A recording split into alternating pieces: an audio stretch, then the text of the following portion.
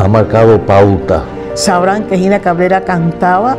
Ella hacía ejercicios de voz y dicción. Y toda esa experiencia maravillosa con Gina. De verdad fue un mito. Se olvidaron de ella en el cine. Un ser extraordinario, además de una extraordinaria actriz. Y era la época que se usaba ese estilo de actuación. Se le diseñó una ropa muy elegante porque era una, una gran dama. Gina está viva.